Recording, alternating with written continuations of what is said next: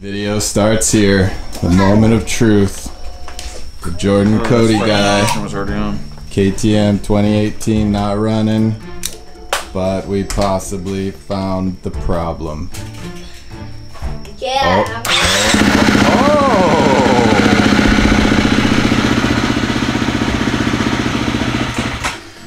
You know? It has to do with this because it definitely extended the runtime. You know what we need?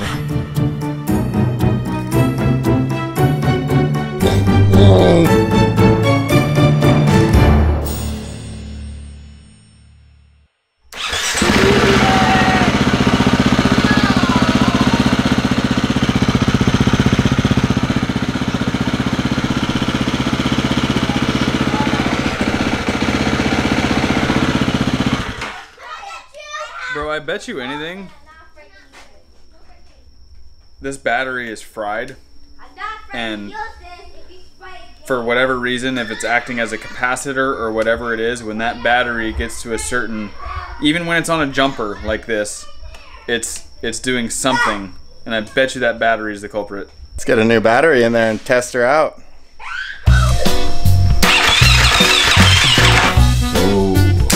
This is the stock battery that came with it. Well, they were trying to do everything they could to save weight. In fact, on the next model year, on 2019s, they don't even give you rim locks. What? Look at right here. Where's that? Where's the hole? Right there. Oh yeah, what's up with that, KTM? It's uh, like 300 bucks extra. And then, of course, if you don't want to split the cases yourself and you want to maintain your warranty, you have to pay KTM to do it.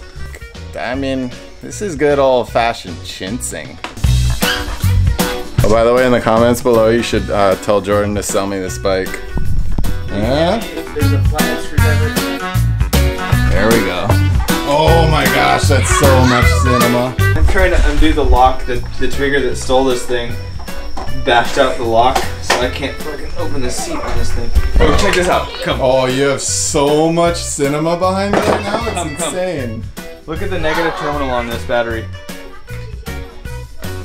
What the hell is that? It's zip tied? It's zip tied. That's ridiculous. That was easy. Might actually even fit in there. Nice and toy, like a toy guy. Oh, that's a nice spark we got there. You guys, keep your volume down out there. I'm about to start my motorcycle. All right. The moment of truthiness. Are you filming?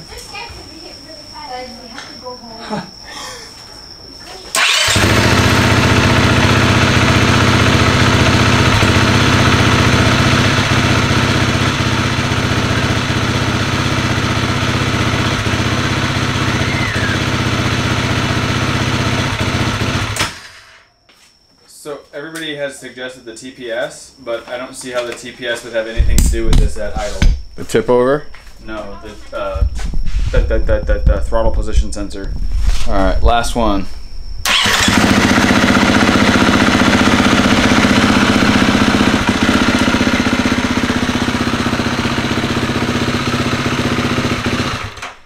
I think that concludes this video. Maybe next time, if you guys have any ideas as to why Jordan's bike doesn't want to continue running, leave them in the comments down below. Oh, you want to go through real quick what uh, all the things that have been done? Should we start at like what happened, like when Yeah, what I was doing when this happened? I was gonna go ride down the wayway over there. I hopped on the bike, started it up like normal. I hadn't washed it or anything. It was still dirty from the last time I rode it, and I rode it down the road, and I was doing a wheelie up the little highway incline thing, and it died on me. Freaking sorry. Luckily, like it, it could have honestly hurt me really badly, and I hit the rear brake and I came down, and then I like cycled the kill switch while I was still moving after dropping that wheelie, and it started back up, got me off the highway into the grass, and I tried to start it again. It started briefly and it stopped. I gave it a break. I was going to meet some people, and I was like, I can't ride this bike down here.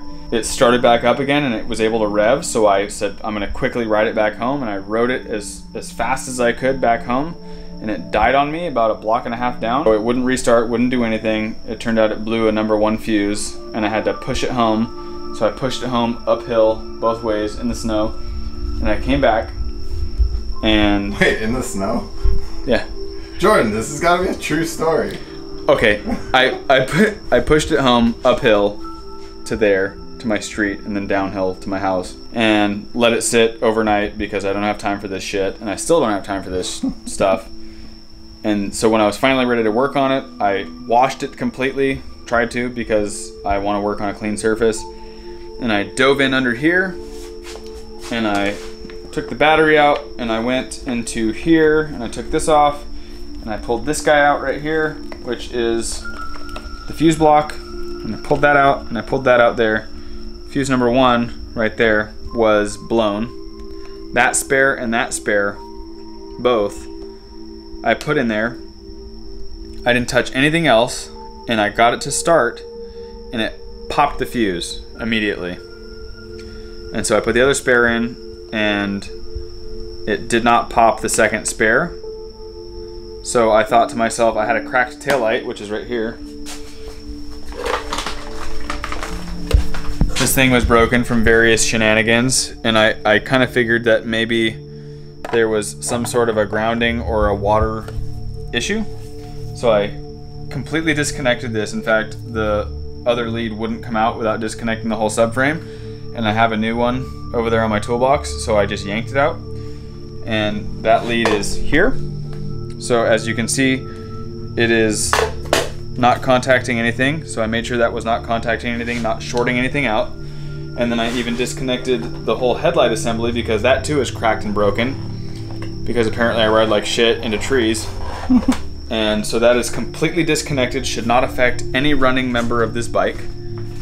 And once I disconnected these, it stopped blowing fuses. So that tells me that this was an issue that was blowing fuses, but that now when I when I finally got it to start again, it would only run for like 10 seconds and then it would shut down.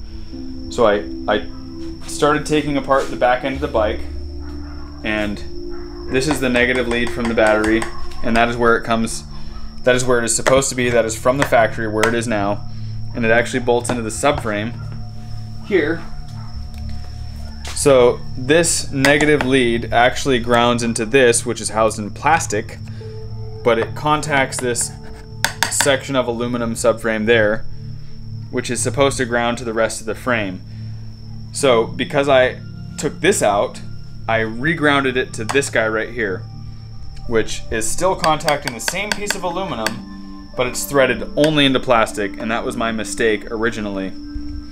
I threaded that guy in, I assumed it was making good ground contact, and there was no difference. I even cleaned that up a little bit, and that's when I involved you, and there was zero power coming from the ignition whatsoever at all. It was completely dead. I checked all the fuses, everything was still intact. I checked uh, voltage from the battery through the starter, everything was still intact and and perfectly, uh, no resistance, everything was good. Um, and that's when I was kind of wigging out, and I took that off and I put it here, right there where you see that little O, and I pressed it down with my socket head, and I turned the ignition, and everything came back on like it was, and I thought everything was good until I started it just like that, and it did the exact same thing. It started, it ran good for a second after the fuel pump primed, and it died. So I thought that there was a fuel pressure issue, and instead of going to the hardware store to get the fittings proper, uh, proper fittings, to check the fuel pressure coming from the fuel pump to the fuel line out here to the injector, I decided I already had purchased a fuel pump because the original problem I thought was a fuel pump. And so I went ahead yesterday and took the tank off, took the fuel pump out, which is a pain in the ass, and I replaced the actual pump motor itself. I replaced the filter and the tubing that goes to and from, and I replaced those with proper um, seating hose clamps. Everything was fine, all the hose clamps were tight. Put it back in, tested the fuel pump, plugged it in, ran it. Fuel pump was good. Fuel pump still does the exact same thing. It primes perfectly, it's nice and quiet, it's a brand new pump. Primes, does everything fine. Start the button, button works, starts. Stupid freaking KTM, expensive bike, shouldn't do this, out of warranty, dumb bike, stupid bike, runs for like anywhere between 5 and 25 seconds and then dies.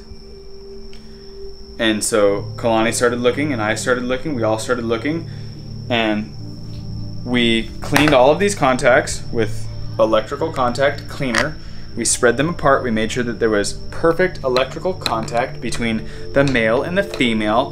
The male and the female perfectly contact, nice and tight contact.